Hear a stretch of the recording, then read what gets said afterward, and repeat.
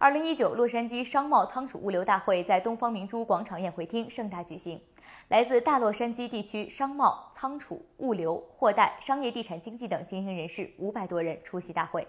美国华人商会会长加入达共享仓储平台董事长陈金阶表示，美国华人商会通过七八年研究，发现美国仓储行业空间浪费非常严重，美国仓库浪费空间相当于二十八个亚马逊的规模。为了把这些闲置的空间充分利用起来，陈金阶会长创建了一个平台 Share Warehouses。这个平台类似于 Airbnb 的模式，把这些闲置的空间充分利用起来，帮助仓储方利用闲置空间赚取额外利润。用户就不用自建、自租、自营仓库，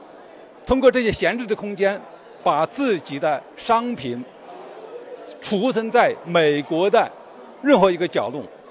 所以，我们这个平台现在在全美，甚至是全球，都是唯一的。特别希望有识之士能够来踊跃参加，加入达共享仓储这个平台。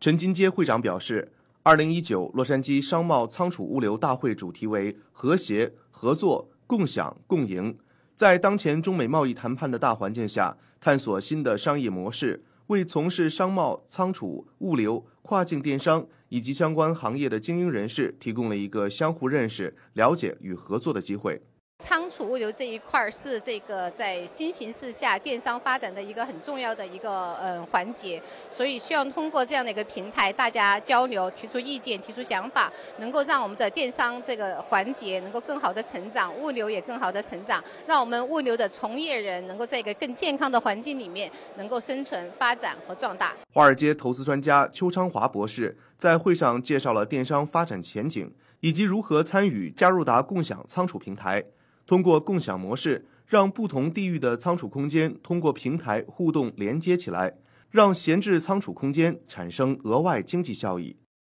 美国城市卫视晚间新闻洛杉矶采访报道。